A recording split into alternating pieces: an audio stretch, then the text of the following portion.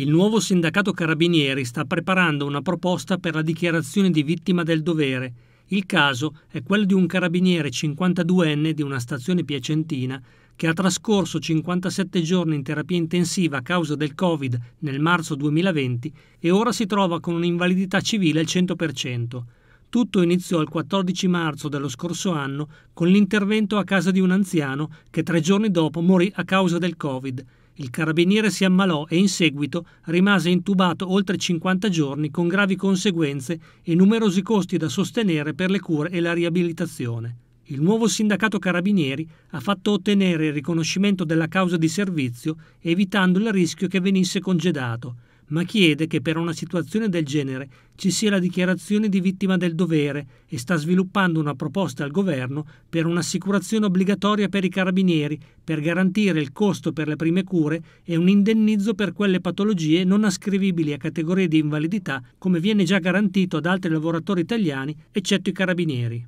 Riteniamo, conclude il responsabile del Comitato Medicina Legale e Pensionistica NSC Ciro Ingui, che l'Arma, come datore di lavoro e controparte sui rimborsi alle vittime del servizio, si venga a trovare in un duplice conflitto di interessi. Questo non è più tollerabile, come non è tollerabile il ritardo sui riconoscimenti che attualmente prevedono dai 4 ai 5 anni di attesa.